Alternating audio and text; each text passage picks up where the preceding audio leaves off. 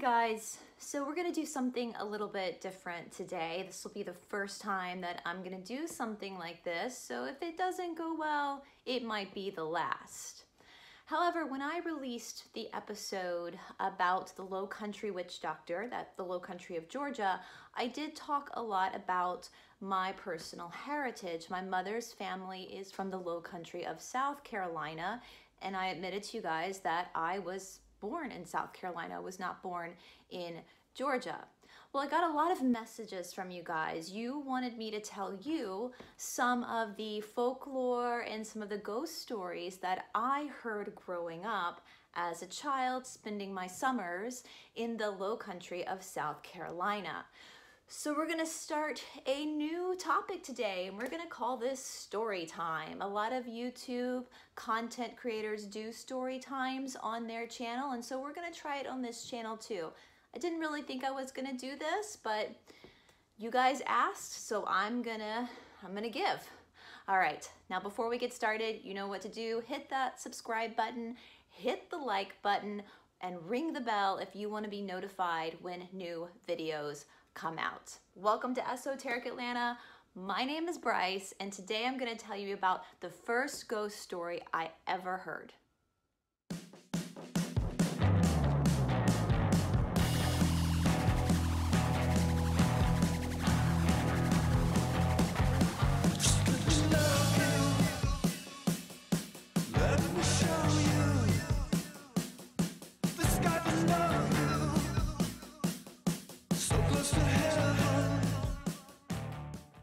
Just to recap, my mother's family is, like I said, from the low country of South Carolina. Brice is my mother's maiden name.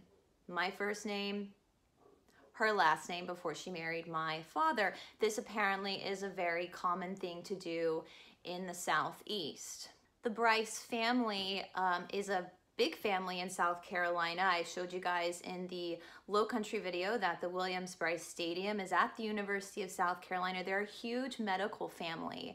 We go back generations of doctors and maybe in a future story time, I can show you guys some of the old equipment my ancestors had. Like I believe one of my aunts has one of my great great whatever grandfather's old cutter where they used to cut people to drain the blood when they thought that would help get rid of a disease we know better now. But it's interesting to look at this old equipment that the doctors used way back when. So my grandfather, my grandfather was a man by the name of Boy Stafford Brice. Again, he was a doctor. He was the middle child of three boys. His older brother was uh, my great uncle, Joseph, or we called him Dodie, and his younger brother is my great uncle Larry. We called him Boogie my grandfather's father, so my great grandfather was a man named Joseph Brice, Dr. Joseph Brice. I actually share his birthday. I never knew him, but we do share a birthday. And my great grandmother, my grandfather's mother, was a woman named Alice Stafford. Now, Alice was from Philadelphia. Her father, Henry Stafford, is straight up from the north. He's Philadelphian, and his wife, my great great grandmother, was from London, England. She has a very interesting story herself. I'm not going to get into that. I don't know much about the Staffords though because my grandfather used to say that his mother was a Yankee. So we didn't learn much about the Staffords of Philadelphia. So if you're a Stafford in Philadelphia, we might be cousins. But anyway, so my great grandfather Joseph went up to Philadelphia for residency where he met my great grandmother Alice, married her, and brought her back down to the low country of South Carolina. Their house was actually in Southern Living from time to time, I think more than once. But anyway, they died long before I was born. Now, my grandmother, my mother's mother, her name was Maxine Strom. And as I said, in the low country video, her cousin was the late Strom Thurmond. They're both late now. My grandmother is no longer with us either. Um, Strom Thurmond is our longest running senator in the United States. And again, he was from South Carolina. My grandmother was the middle child as well of three girls her oldest sister, my great aunt BJ, moved up to Pennsylvania, and I think some of my second cousins watch this channel. So hi, you guys. Um, and then her little sister, my great aunt Peggy, I believe spent her life in South Carolina as well. So for us, for my cousins and me and my mom and her sisters, they moved away from South Carolina. Now my grandparents both died relatively young. My grandfather died in his late 50s of cancer and my grandmother died, ended up dying in her early 60s of cancer. So my mother and her sisters, there were four girls, uh, actually did a really good job. They kept us all together and I feel like with my cousins on my mom's side, I feel like they're my brothers and sisters. I don't know if they feel that way, but I do feel like my cousins on my mom's side that I have more of a sibling relationship with some of them than a cousin relationship which is a testament to my mom and her sisters. Now I did say back in the low country video that my grandparents, my mom's parents are buried in Georgia. However, growing up, our South Carolinian heritage was very important to them. Now, my mother and her sisters, the four girls, they each had two children. So there's eight of us grandchildren. And I am the second oldest. So we would get a house, usually in Litchfield, South Carolina. Litchfield is right beside Pawleys Island, South Carolina, where our ghost story comes from today. Or we would go to Hilton Head or somewhere in the low country. We would get a house in the summertime and we would all live in the house together. Cue the picture of my cousin Sarah and me on the dock of our South Carolinian home for that summer. I am wandering off with my baby dogs. I guess I had better things to do. Now, this South Carolinian coastal heritage was so important to my grandparents that my grandfather was very skeptical of people who didn't like seafood. Some of the most famous dishes in South Carolina are seafood dishes like she crab soup.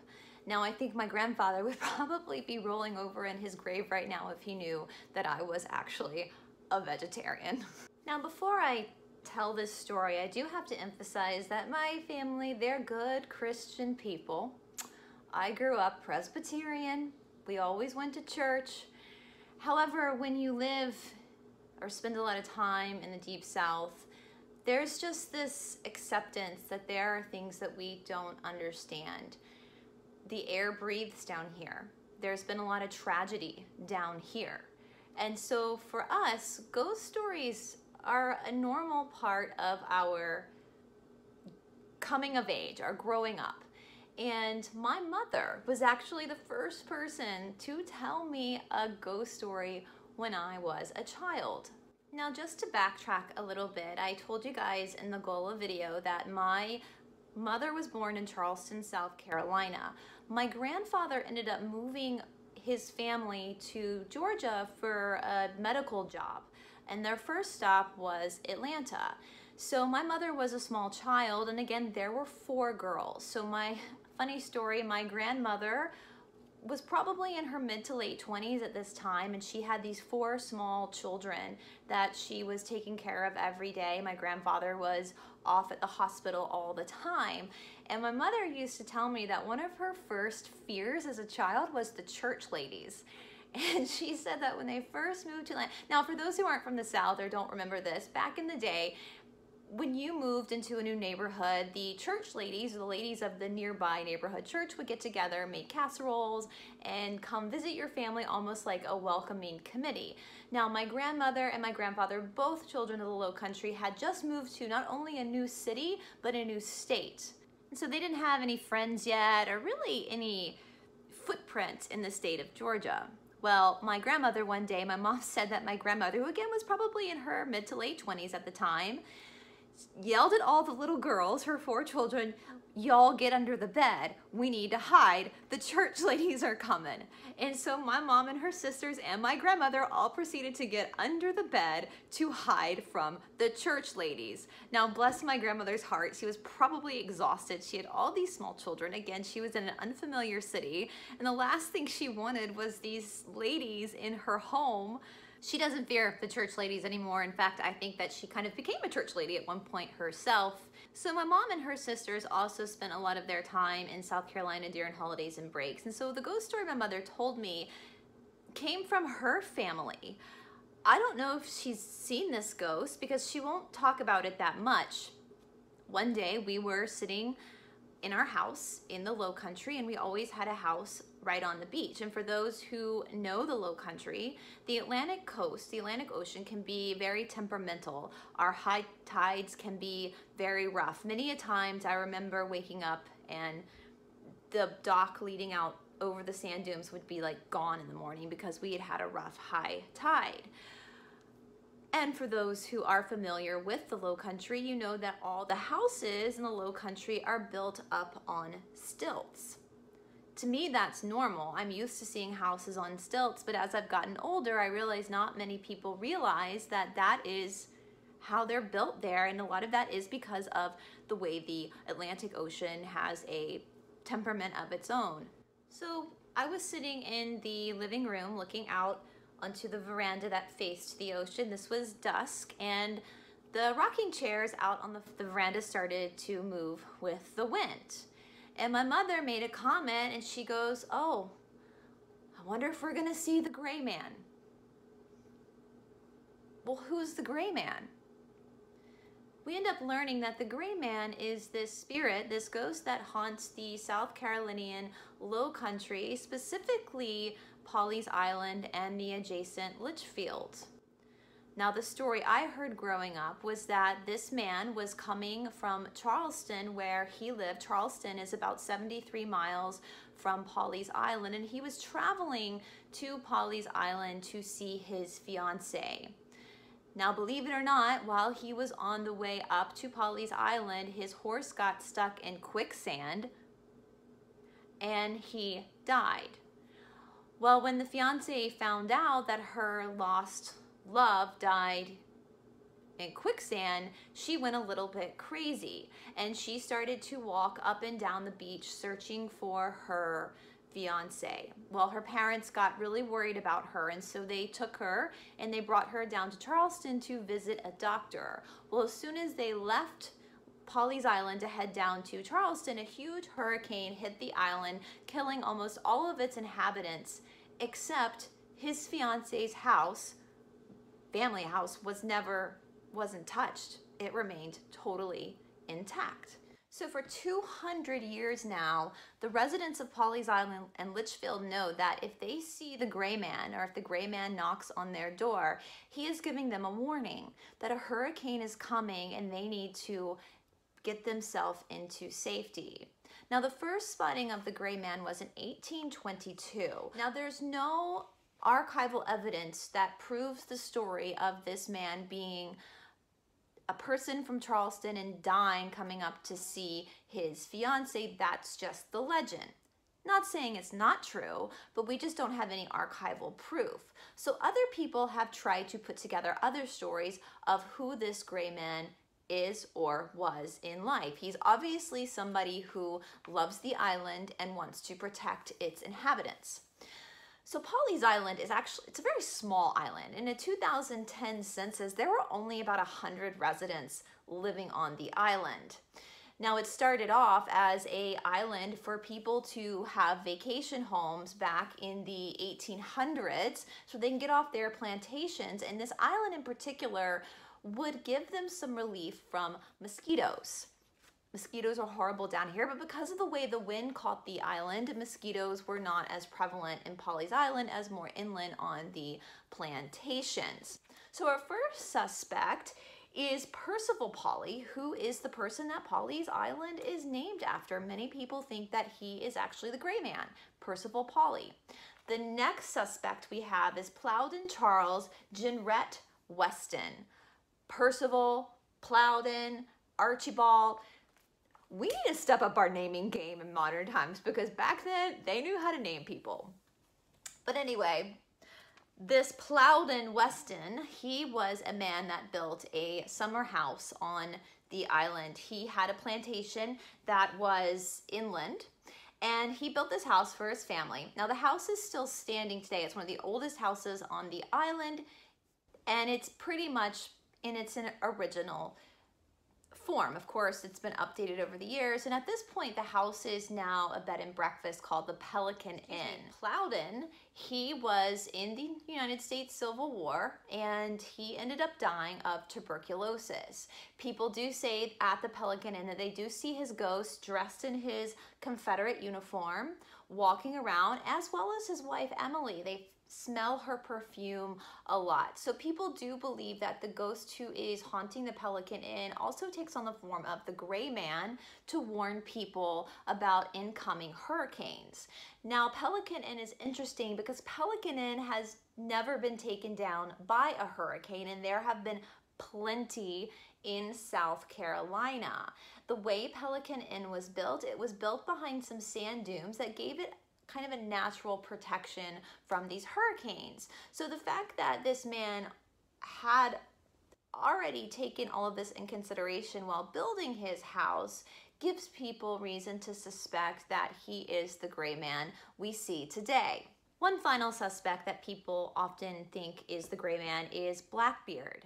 And for those who don't know, Blackbeard roamed up and down the eastern coast. And there are a lot of ghost stories in Charleston revolving around Blackbeard and his pirates. And maybe in a future story time video, I'll tell you some of those ghost stories I know. But for me, I actually don't think the ghost is Blackbeard. Blackbeard he wasn't really for the people. He was a pirate. So I don't understand why, why in death he is trying to warn people and protect people about oncoming hurricanes. Unless he's paying some penance for his sins as a human, I don't know. But I really don't believe that Blackbeard is a reasonable suspect for the island. I can see it being Percival or Plowden, and I also cling pretty closely to the original legend that it was a guy from Charleston. However, as I said, we don't have any evidence of who this guy actually was. So for 200 years, the gray man has been one of the most famous residents of the low country. However, it appears that only people in the low country knew who he was. The first public acknowledgement of the gray man was in 1956 when a book was released called Georgetown Ghost. Now, Pawleys Island is in the Georgetown County, and Georgetown is a city very close to Pawleys Island. And then again in 1989 on an episode of Unsolved Mysteries, the gray man got his first public TV appearance when a couple named Jim and Clara Moore were interviewed about their encounter with the gray man. If you can remember, in 1989, we had Hurricane Hugo. I remember Hurricane Hugo. It devastated the low country. And for this couple living on Pawleys Island, the gray man knocked on their door and then walked away, and it prepared them and saved them from the devastation of the hurricane. The last time the gray man was spotted was pretty recently in 2018 when Hurricane Florence hit the South Carolina low country. People reported seeing him walking the beach, knocking on people's door right before that hurricane. So if you're ever in the South Carolina low country and you see the gray man on the beach or if he happens to knock on your door, don't be afraid. He's a good ghost. He's there to protect you and to warn you. All right, thank you guys. That's the very first ghost story I heard as a child. Again, it was from my mother. She's the one that first told me about the gray man. And again, if this is something you guys like, I will continue to tell you even more stories that I heard growing up. I even went to a haunted school here in Georgia, so maybe I can do some research and get into those hauntings as well for you all. Now a little bit of housekeeping for this channel. For us, this is a labor of love. We don't at this point make any money off of this channel and it will probably be a while until we're eligible for AdSense. Some of our videos I know will not ever be monetized because we talk about taboo stuff. So with that being said, what a lot of these channel, what happens with a lot of these channels that disqualify for monetization because of topics they cover, they will receive paid sponsorship. So what this means is that companies will reach out to them and ask them to advertise products on their channel. For us, we are absolutely open to taking paid sponsorships. To do these videos takes a lot of time it takes a lot of time to research. I always want to make sure I'm getting information as accurate as possible and then to plan out how we want to tell the story. I don't script this, but I do have an outline of how I want to deliver the story to you. And then not to mention how long it takes to film. For me to film a 20 to 30 minute video can sometimes take all day just from cutting and restarting and bloopers and going back and having to refilm, plus all the editing that comes with it for now, we don't mind doing this for free. We love what we do and we love being able to bring stories and information to you guys, especially about businesses. We really, we are all small business owners ourselves. And so we really want to support small businesses. Small businesses are the backbone of our country. With that being said, today we got offered our first paid sponsorship, which I declined. If somebody wants to send us a product, if it's a product we like and we believe in, then I have no problem using this platform to advertise that product. However, the email we got today was from a group of people wanting to pay me to lie to you guys, to tell you some disinformation. I will not do that. I have something called integrity. In fact, my grandfather used to tell us all the time they can take away your job, they can take away your money, they can take away your house, they can take your life from you. But the one thing they cannot take from you is your character. So I am going to use this moment to give you guys a bit of a heads up. Obviously, my channel is very, very, very small. We're a very new channel. So if I'm getting offers like that, then these bigger channels are obviously getting offers like that too. Now, I don't blame people who are taking the offers. We're in a very peculiar situation right now. A lot of us are losing our jobs, and I understand that people need money. However, I'm going to warn you guys be careful what you're hearing in the media. Be careful what you're hearing on these YouTube channels. If I'm getting offered money to lie to you, to flat out lie to you, then other people are being offered that as well. I really want to encourage you to practice critical thinking and discernment. I really want to encourage you to do your own research when it comes to hot topics. I never want this channel to be political at all. You are all my countrymen. If you are born in America, I don't care whether you're a Democrat or a Republican or a Libertarian. I don't care what race you are. I don't care what your sexuality is. You are my countryman. You are one of me. We are Americans. And I will not betray you and I will not lie to you. My soul cannot be bought. So, as you can tell, getting that email this morning really pissed me off to me, lying to the American public, blatantly handing a script to someone and saying that you will pay them to say this, that's treason in my eyes, and I will not commit treason. I do have the email. I'm not going to share it at this moment. We're already in such an emotional state right now. I don't think sharing the email right now would be positive, but I that doesn't mean I don't plan on sharing it in the future. So anyway, I love you guys. I want everybody to stay safe and to lead a happy and purposeful life. You have the right to pursue happiness. That is granted to us in this country. I am proud to be an American. I am proud of you as my fellow Americans.